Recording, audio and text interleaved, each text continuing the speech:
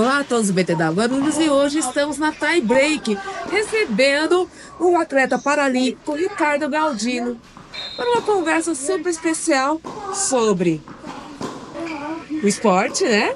História de vida e muito mais. Muito obrigada, Ricardo. Eu que agradeço, uma boa tarde a todo mundo. Quero agradecer aqui a BTW por estar me fazendo esse convite, para estar contando um pouquinho da minha história para vocês aí, como atleta paralímpico e jogador de futebol de amputados. E no nosso último encontro, você comentou comigo sobre uma modalidade que é o badminton, mas eu gostaria primeiro de saber um pouco da sua história. Vamos lá.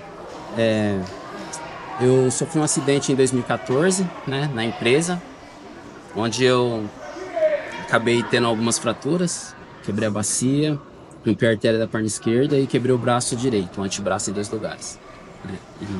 Consequência do acidente, tive duas paradas cardíacas, fiquei dois meses no UTI, né? lutando pela vida ali.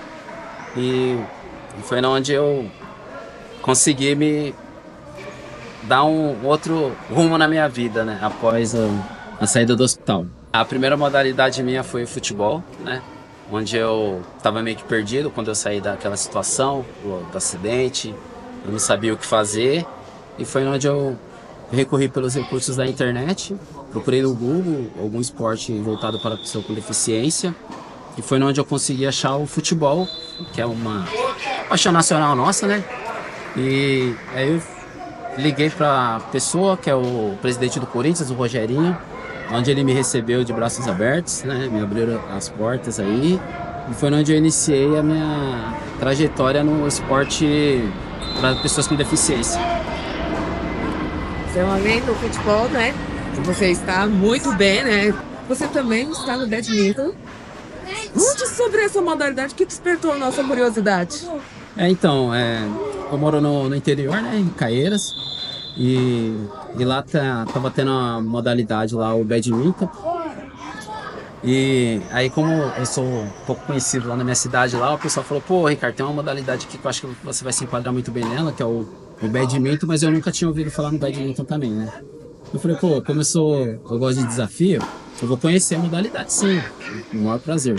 Acabei indo conhecer lá no, nós temos um centro de referência para lá na cidade, né? E nós eu fui lá conhecer o esporte, gostei muito, gostei dos professores, o professor Ale aí que, que me ajudou muito, eu me incentivou muito. E comecei a treinar com ele, me identifiquei muito com o esporte e hoje, graças a Deus, eu sou atleta paralímpico de parabadminton, federado pelo estado de São Paulo. E sobre as Paralimpíadas? As Paralimpíadas acho que é, é, um, é tudo para nós aqui, né? Principalmente para nós que tá lutando aqui, fazendo o melhor nosso. E a gente viu aí nossos amigos aí competindo nessas Paralimpíadas que foi coisa mais extraordinária do mundo. Primeira vez assim que eu acompanho mesmo, né? E eu tive o privilégio de jogar com alguns, né? Que nem o, nosso Rogerinho, que, que é do badminton. Para mim ele é o número um, joga muito. Eu gosto de ver ele jogando, aprendo, né? Aí tem o nosso amigo Vitinho, que é da categoria de anões, né? Ele foi medalha de bronze. Então, assim, pô, a primeira medalha assim foi inédita para nós. É, então isso para nós é muito gratificante, né? É uma modalidade que está crescendo cada vez mais no, no Brasil, né? Então só tende a crescer mesmo. Né? E no futebol, você joga por Guarulhos? É, no futebol eu, eu jogo aqui para o Guarulhos, né? Eu jogo no Mamonas.